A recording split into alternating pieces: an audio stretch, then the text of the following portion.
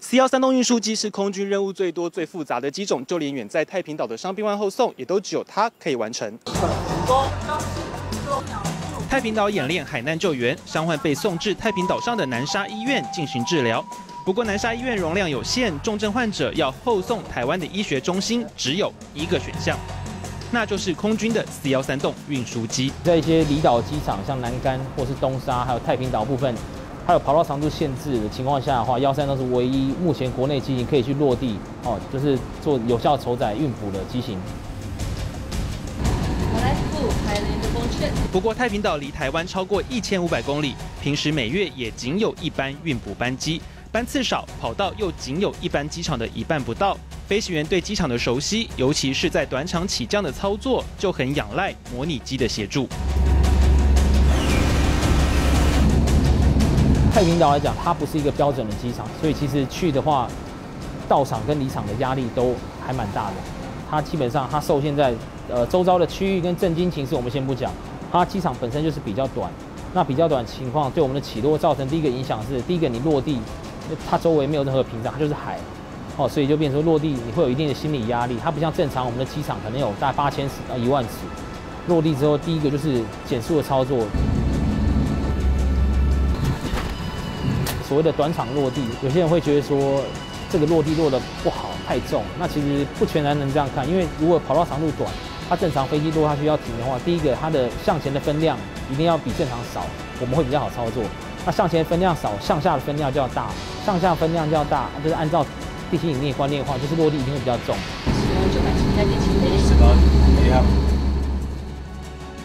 太平岛机场不止考验飞行员的短场落地，由于一般飞机的起飞距离比落地距离要长，因此 C 幺三栋就必须要使用类似弹射起步的战术起飞，紧急程序的应变更是一练再练。其实真正大家比较忽略是起飞，它机场长度短。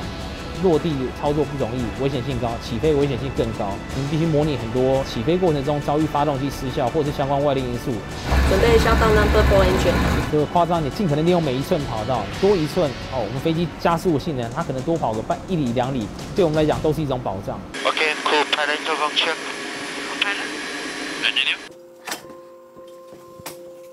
执行太平岛的伤患后送，除了飞行组员，还有赖医疗组员的先前准备。牵扯到这个人员后送，第一个我们要先了解伤患状况，我们会先跟我们的这个后送分队，就是我们的一中哦这边保持联系。我们起飞前还是要协调相关地面的医疗网、救护车、相关的医院，让他们知晓这个情况，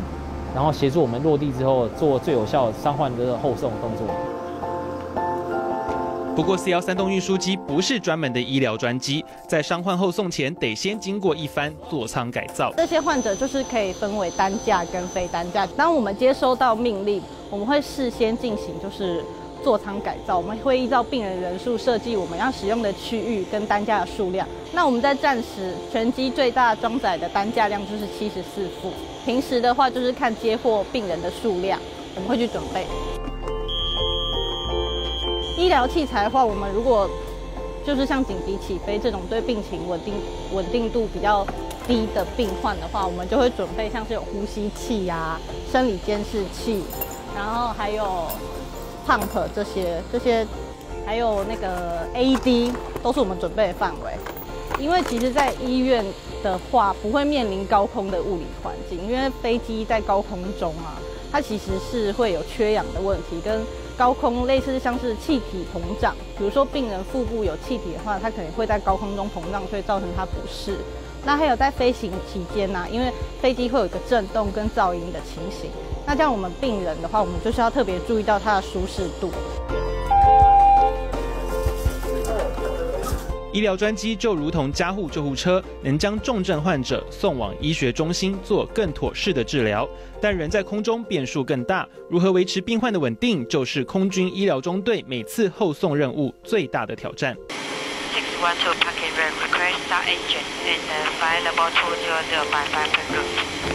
Gravity Tango C71 stop, runway 27,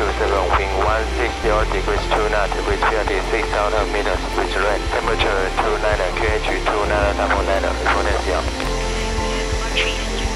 Not much here.